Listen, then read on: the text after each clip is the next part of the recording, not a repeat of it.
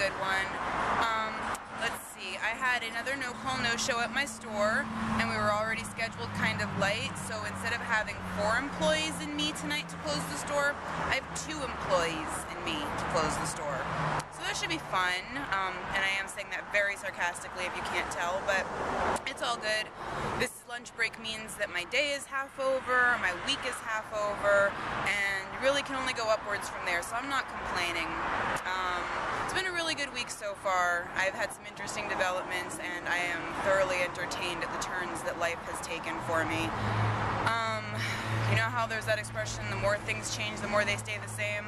Well, that's kind of what's going on for me, but I don't know if I'm going to elaborate on that. At any rate, guys, I just sat down, as, as, you can see, under my tree, the most boring spot in the universe, and I'm going to enjoy my lunch break for a little while. If I think of anything important, I'll come back. Otherwise, you'll get the uh, end of the night conclusion as usual, so stay tuned. Okay, so I'm still on my lunch break. It's only been a couple minutes, but I'm so excited, guys. I just had to share the news with you. So I was griping a minute ago that I only had two employees to close the store with tonight. Well, I just got a text from Megan, who is working currently, and yes, we do work together, if any of you wondered. Um, I know you've seen Megan in some of my videos if you watch regularly. Anyway, she texted me that someone that I called to see if they would come in is coming. So instead of just two, I'm going to have three employees plus me to close the store tonight, which is enough for every station. And then I still have time to like do the managerial duties. So I'm excited. So things are looking up even as we speak. So yay and stuff like that.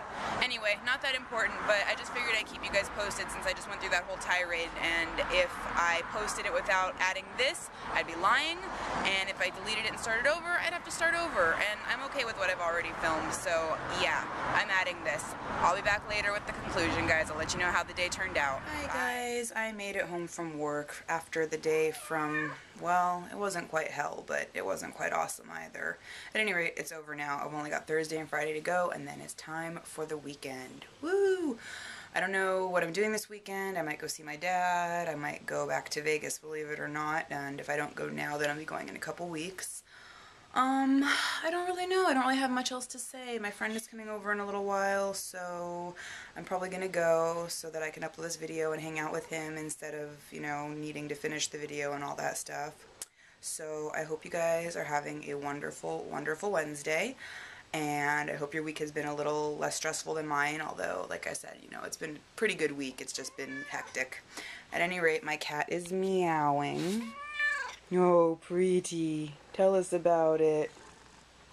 Okay, I'm totally being one of those people who film my cat, but until she started licking herself. That was really cute, right? She's looking at me now. She stopped licking herself as soon as I took the camera off her. I don't know what that says about her, but She's fancy.